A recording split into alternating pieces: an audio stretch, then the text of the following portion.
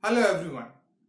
In today's video, I will explain a very important phenomena from the section of autonomic nervous system and the phenomena is called as Dale's vasomotor reversal or vasomotor reversal of Dale. Before going to the topic itself, I will explain, I will tell you the meaning of each word.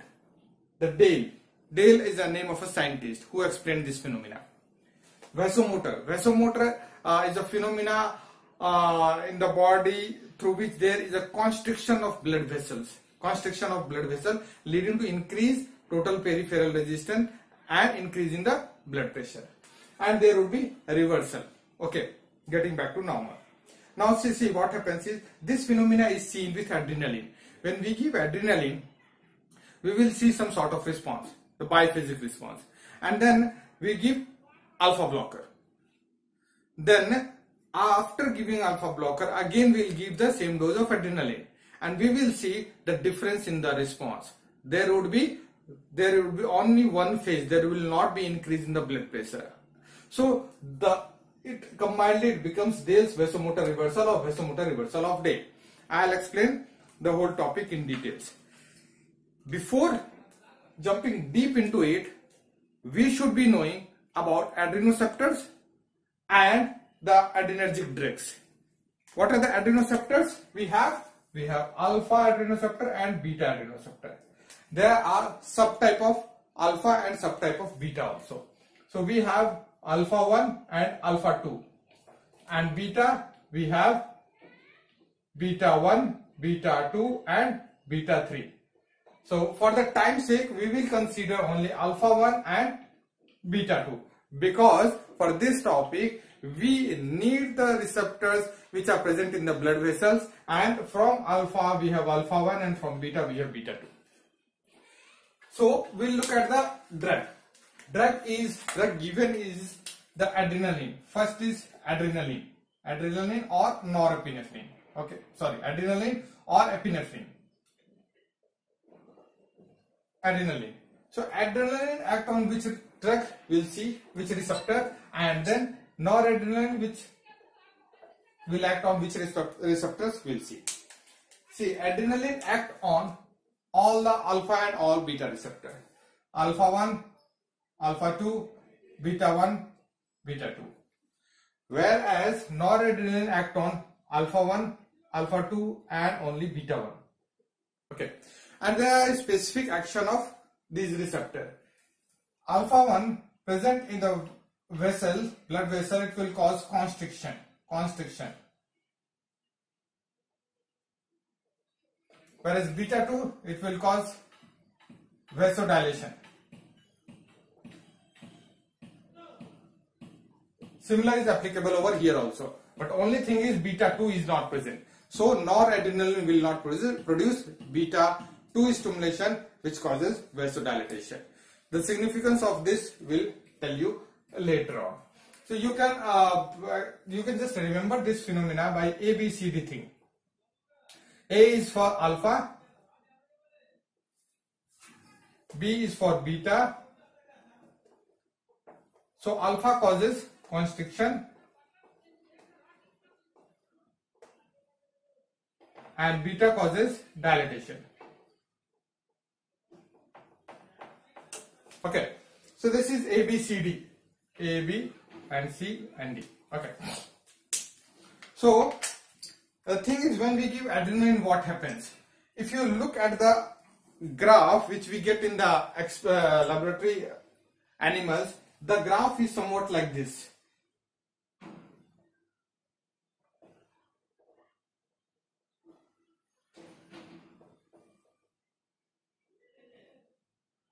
Okay, somewhat like this graph you will be getting the zigzag lines. And this shows the effect of adrenaline. Adrenaline we are keeping it here. Adrenaline or epinephrine. Okay. So thing is this is this is the basal blood pressure basal blood pressure. Say it is around 120 millimeter of Hg so basal blood pressure and when you give adrenaline you will see there is a rise in blood pressure say it reaches around 100, 180 millimeter of Hg. Okay. And then when the concentration decreases of adrenaline, then after coming back to the normal base of blood pressure, it goes further below down and there is decrease in the blood pressure and then again it comes back to normal. This is a typical phenomena of adrenaline, adrenaline and this is known as biphasic response, biphasic uh, response, biphasic response. Now do we need to draw the similar type of graph in your uh, copy or during your examination? No, you need not. You just uh, take the mean blood pressure and then you just draw the graph like this. Okay. So here you are giving adrenaline. Here you are giving adrenaline. So to understand this, I'll, I'll rub this off because we will be dealing with alpha 1 and beta 2. So I'll just remove this. Okay. Now the thing is, when we give adrenaline, there is first increase in the uh, response. Increase in the response. That means it will act on the alpha receptor and beta receptor, adrenoceptor. But the effect which we will see is the increase in the blood pressure and this increase in the blood pressure is mainly because of alpha 1 mediated vasoconstriction alpha 1 mediated vasoconstriction and this response is mainly due to stimulation of beta 2 mediated vasodilation so when there is vasoconstriction there is increase in total peripheral resistance causing increase in the blood pressure but whereas when the beta 2 is stimulated, beta 2 causes vasodilatation and that will result in decrease in total peripheral resistance leading to decrease in the blood pressure. Why it happens so? See, let's say you give 500 molecule of 500 molecule of adrenaline, okay. And let's say that alpha receptors are more than if, if more than 200 alpha receptors are occupied, then only you will see the alpha action Okay, so more than alpha, more than 200 of alpha 1 receptor when occupied, you will see the action because of alpha 1. That means when you give 500 uh, uh, molecule of adrenaline, adrenaline, it will occupy the alpha 1 receptor. It is more than 200. Okay. As well as it will occupy some of the beta 1, beta 2 receptor also. Okay whenever there is occupancy of any receptor by any drug, it is never absolute occupancy. It's relative occupancy. Some beta 2 will also be occupied, but the action produced will be because of alpha because alpha receptors are stronger in action stronger in action whereas beta beta 2 receptor is sensitive receptor sensitive receptor which means even a small molecule, even in even a small number of receptors, if it is occupied, it will give the action. But more number of alpha receptors should be occupied to give the action, and the action given by alpha is always very strong. So when when when all the alpha receptor or more than 200 alpha 1 receptors are occupied, it will give stronger action, and because of stronger action, the effect of beta 2 will not be seen only alpha 1 mediated action that is vasoconstriction we will see and we will see the sharp rise in blood pressure. Then here it reaches to the peak and then after that it starts declining because of the metabolism of the drug. It gets starts declining. The concentration of the drug starts getting declined. So the receptor occupancy will also be decreased. Now as it uh, reaches less than less than 200 less than 200 that means now it will be occupying the beta 2 receptor and as it reaches less than 200 now alpha action due to alpha receptor will not be that strong okay because you need more than 200 uh, occupancy to show the alpha action the moment it decreases less than 200 the action due to alpha will not predominate.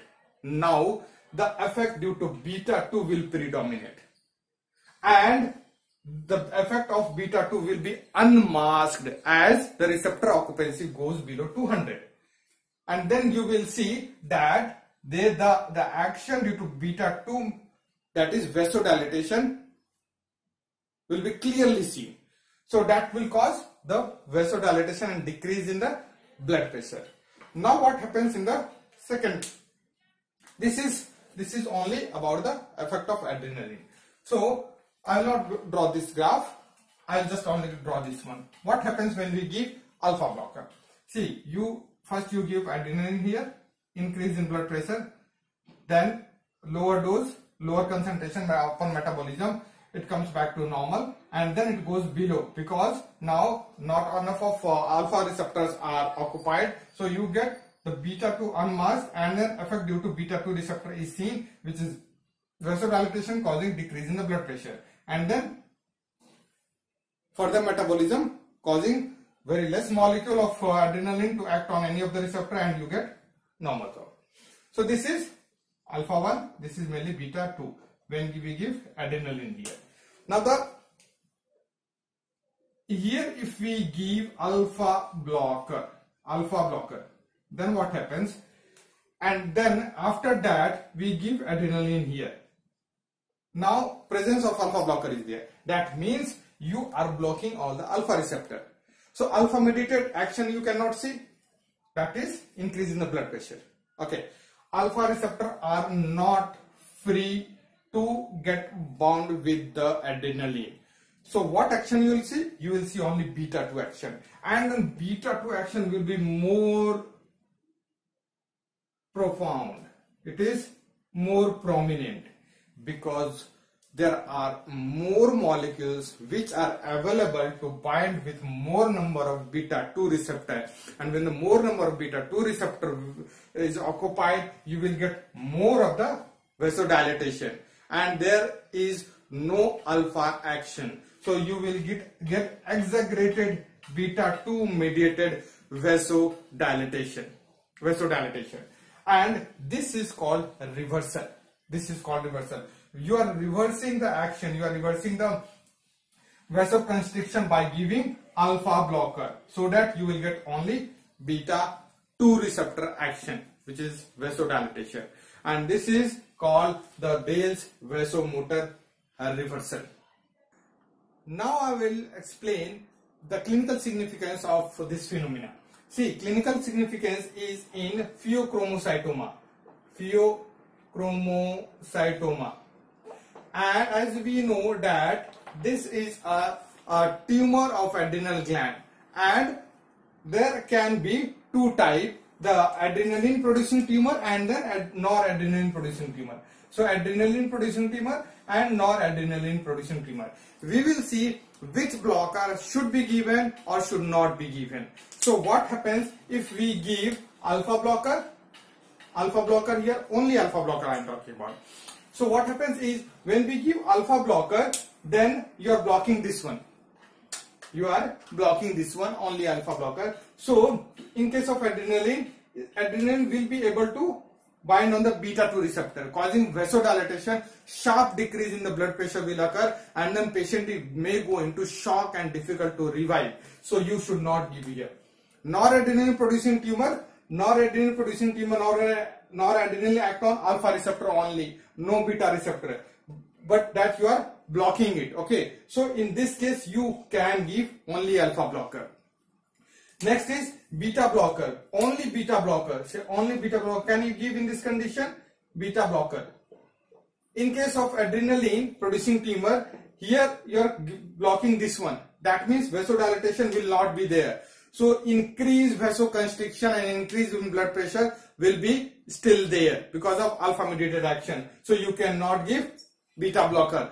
You cannot give here also beta blocker though it does not act on beta receptor but alpha mediated action will be there. So you cannot give beta blocker here.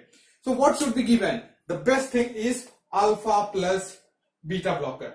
Alpha beta blocker. How it will help? In case of adrenaline producing tumor, the alpha will take care of this increase uh, blood pressure because of alpha mediated vasoconstriction and beta will help in uh, blocking the shock, blocking the vasodilatation and decreasing the blood pressure. So you, you can give here.